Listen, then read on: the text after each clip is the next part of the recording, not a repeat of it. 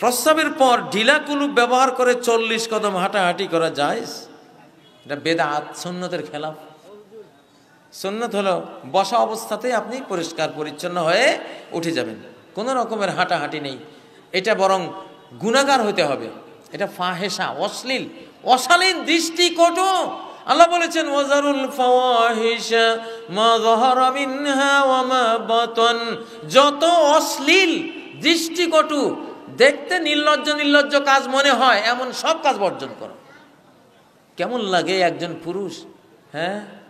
লজ্জাস্থান ধরে এইভাবে লেফট রাইট লেফট রাইট করতেছে। সি, দুনিয়াতে হচ্ছে নিকৃষ্ট লেফট রাইট আর আছে নাকি পৃথিবীতে আরেকটা? হ্যাঁ? সি আস্তাক ফরল্লাহ এই কাজেরে তোমরা ইসলামের অন্তর্ভুক্ত করে নিছো, আল্লাহ হেদায়ত করুক তোমাদেরকে। এটা ফাহেসা লজ্জা অঙ্গ ধরা, এটা এক ফাহেসা অশালীন। আমার তো আশঙ্কা হয় বড় ধরনের গুনার। বড় ধরনের গুণাগার হবে এরা। এই বিশ্রী ইসলামকে কলঙ্কিত করে ফেলছে এইসব কাজ করে। আর এটা অবৈজ্ঞানিক। আমি আমার ঢাকার মসজিদে একবার খোদবা বলেছিলাম, বসা অবস্থায় যে পরিচ্ছন্নতা, পবিত্রতা আপনি অর্জন করতে পারবেন, লেফট রাইট করলে কিচ্ছু হবে না। একজন অফিসার, সরকারি অফিসার, উনি পরের জুমায় আমাকে বলেন হ্যাঁ আমি পুরা সপ্তাহ পরীক্ষা করেছি। যে বসে পানি খরচ করলে অথবা টিস্যু নিলে আর কিছুই থাকে না। কোনো পেশাব নির্গমনের কোনো আশঙ্কা থাকে না। কিন্তু হাঁটাহাঁটি যতদিন করছি, ওরকম আমি দেখছি নির্গমন হয়। আল্লাহ নবী সুন্নতের খেলাপের মধ্যে কোনো মানুষের কল্যাণ নাই। নির্বাচন থেকে শুরু করে এমন কোনো পোস্টার, লিফলেট, দাওয়াতি কার্ড নাই যেখানে বিসমিল্লাহ রহমান রহিম আয়াতটি লেখা নাই।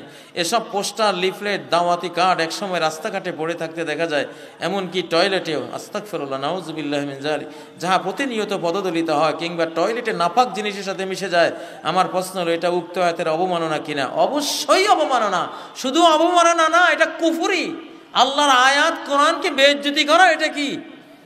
কুফুরি, নাপাক জায়গায় ফেলা কুফুরি ইমান ধরে টান দেবে। এই জন্য এইসব কোনো আলতু ফালতু কার্ডে কখনো বিসমিল্লাহ রহমান রহিম লেখার দরকার নাই। মুখে বিসমিল্লাহ রহমান রহিম পড়ে ওটা দিয়ে দিবে।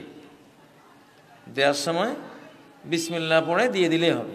লেখার কোনো দরকার নেই। যেই কোনো কাজ, একটা হারাম বা কুফরি কাজের উসিরা হয়ে যায়, সেই কাজটাও হারাম। সেই কাজটাও কি? হারাম। এখন আমি কার্ডে লিখলাম বিসমিল্লাহ রহমান রাহিম। এরপরে এটা যেখানে সেখানে ফেলা হলো, পায়ের তলে পড়ল পেশাবখানে পড়ল আস্তাক ফেরল্লাহ কত বড় কুফুরি কাজ এটা।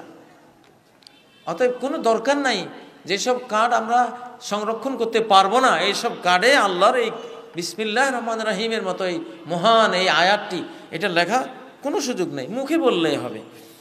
শিল্প কারখানার জমি স্থাপনা ও যানবাহনের জাকাত কি একেবারেই দিতে হয় নাকি প্রতি বছর জমি স্থাপন ও যানবাহনের মূল্য নির্ধারণ করে জাকাত দিতে হয়। শরীয়ত মোতাবেক জানিয়ে বাধিত করবেন। আপনার একশোটা কারখানা আছে। টেক্সটাইল মিলস, ধরুন, একশোটা টেক্সটাইল মিলস আছে। এগুলি থেকে কাপড় বোনেন, অথবা ম্যাচ ফ্যাক্টরি আছে, অথবা অন্য কোনো কত রকমের ফ্যাক্টরি আছে। এগুলির কোনোটার উপরে এক পয়সারও কোনো জাকাত নেই। একশোটা কারখানার মূল্য যদি এক বিলিয়ন ডলারও হয়, তবুও এক টাকাও জাকাত নাই। কারণ এগুলি আপনার আয়ের উৎস। গোলামের মতো, খাদেমের মতো। গোলামের উপরে জাকাত নাই। আপনার, লাইসা আলাল মুসলিমে ফি আবদিহি ওলা ফি ফরাসিহি সদাকা। নবীজি বলেছেন, মুসলমানের উপরে তার কীতদাস তার খাদেম সেবক যারা, আর তার ঘোড়া, যেগুলি দিয়ে সে কাজবাজ করে, এগুলির উপরে কোনো জাকাত আসবে না। ঠিক তেমনি গাড়ি, আপনার এক হাজার গাড়ি আছে, তিন হাজার গাড়ি আছে, তিন হাজার ট্রাক আছে। কোটি কোটি, শত কোটি টাকার ট্রাক আছে। একটার উপরে জাকাত আসবে না। হ্যাঁ ট্রাক দিয়ে যে রুজি করেন, যে কয় কোটি টাকা রুজি করলেন, ওই রুজির উপরে জাকাত আসবে যদি এক বছর আপনার ঘরে পড়ে থাকে। একশো কারখানা আছে, একশো কারখানা থেকে আপনি হয়তো একশো কোটি টাকা রুজি করলেন। ওই একশো কোটি টাকার উপরে রুজি আসবে, জাকাত আসবে। কিন্তু কারখানার উপরে কোনো জাকাত আসবে না। এটা ভালো করে বুঝে নেবেন। আপনার কল, কারখানা মেশিনারিজের উপরে কোনো জাকাত নাই, যেগুলি দিয়ে উৎপাদন করেন। হ্যাঁ মেশিনারিজ যারা বিক্রি করে, একগুলি মার্চেন্ট আছে বিজনেসম্যান আছে, তারা মেশিনারিজ আমদানি করে, ঠিক না? আমদানি করে ওগুলি বাজারে বিক্রি করে। তাদের ওইটা বিক্রিয় পণ্য হিসাবে জাকাতযোগ্য জাকাতের আওতাভুক্ত, ওরা জাকাত দেবে।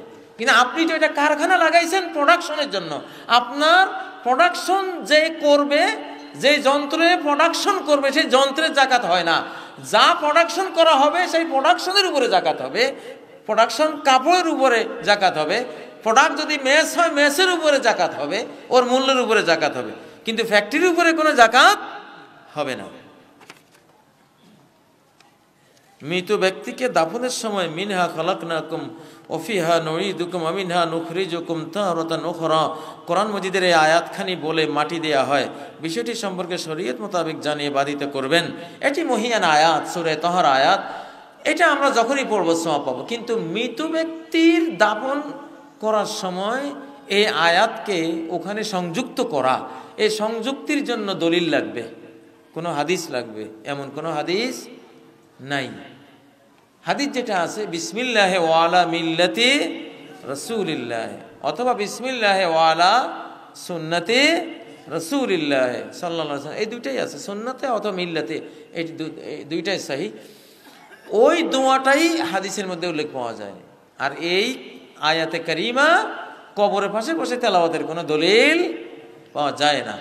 অতএব বিনা দলিলে কোনো কাজ করা এটা আমাদের জন্য বৈধ নয়। এটা আমরা ওখানে বলব না। এটা অন্য সময় পড়ব, তেলাওয়াতের মধ্যে পড়ব। আমার প্রশ্ন হলো, ঈদের সালাতের সহি তাকবীর ছয় না বারো জানিয়ে বাদিত করবেন বারোটা অনেক বড় সুন্নত, ছয়টাও ছোটোখাটো সুন্নত। নাসিদিন আলবানি তিন পৃষ্ঠাব্যাপী তার সহিদি সিরিজে এই দুই ধরনের হাদিসকে যথেষ্ট গবেষণা করেছেন। গবেষণা করে তিনি বারো তাকবিরকে বলেছেন, এটা হলো আজ আমসুন্নাতিন নিঃসন্দেহে অনেক বড় দেড়শয়ের মতো দেড় শতাধিক হাদিস আছে এই বারো তাকবীরের পক্ষে। আর এক দুইটা হাদিসে পাওয়া যায় তিন তাকবীরের কথা, তিন তিন, ছয়, এক দুইটা হাদিসে পাওয়া যায়। এই জন্য ওইটাও একবারে উড়িয়ে উড়িয়ে দেওয়ার মতো না। যেহেতু এক দুইটা হাদিসে হলেও আছে ওটা সন্ন্যার অন্তর্ভুক্ত। সন্ন্যার অন্তর্ভুক্ত। তবে দেড় শতাধিক সহি ছিল কোনটার পক্ষে? হ্যাঁ ওটা বড় সন্ন্যত খুবই স্ট্রং ধরনের সন্ন্যত এটা আলবানির গবেষণা সহিয়াদি সিরিজে তিনি বিস্তারিত গবেষণা করেছেন। আমার প্রশ্ন হলো, মৃত ব্যক্তির জন্য গাড়িতে মাইক লাগিয়ে অথবা সংবাদপত্রে বিজ্ঞাপন দিয়ে জানা যায় শরিক হওয়ার আবেদন কতটুকু শরীয়ত সম্মত জানিয়ে বাধিত করবেন? এটা একটা বাড়াবাড়ি বাড়াবাড়ি। আজকাল সব কিছুই কৃত্রিম হয়ে গেছে। এরকম মাইকিং করা কোনো হাদিস নাই। হ্যাঁ নবী সাল্লা সাল্লাম মিম্বরে বসে যেমন মৌতের যুদ্ধে যারা নিহত হয়েছেন, তাদের সংবাদ তিনি প্রচার করেছেন। বস ওইটুকু, নর্মাল প্রচারের মধ্যে সন্ন্যতের খেলাফ হয় না। কিন্তু অতিরিক্ত একেবারে প্রচার করে জানাজায় নিয়ে আসা, আবার জানাজার আগে এক দেড় ঘণ্টা বক্তৃতা। বুঝলেন না? এক দেড় ঘণ্টা বক্তৃতা, অমুক তমুক বক্তৃতা করতে করতে বিরক্ত করে তারপরে দুই মিনিটে জানাজা শেষ। সুরে ফাতেও পড়ে না। তো এগুলি সুন্নতের খেলাফ। অত ঘোষণার দরকার নাই। সাধারণ ঘোষণা হলে যথেষ্ট। আপনার পূর্ববর্তী বক্তব্যে শুনেছি, এই পৃথিবীতে মানুষ এসেছে সাত বা সাড়ে সাত হাজার বছর পূর্বে। আমার প্রশ্ন হলো, ইদানিং বিজ্ঞানীরা আবিষ্কার করেছেন মানুষের ফসিল যা এক লক্ষ হতে পনেরো লক্ষ বছর পূর্বের। পবিত্র কোরআন হাদিসের আলোকে বিষয়টির বিস্তারিত আলোচনা করে বাধিত করবেন না। এত আগে পৃথিবীতে মানুষ আসার ইসলামের কাছে কোনো বক্তব্য নেই, ইসলামী দলিল নেই।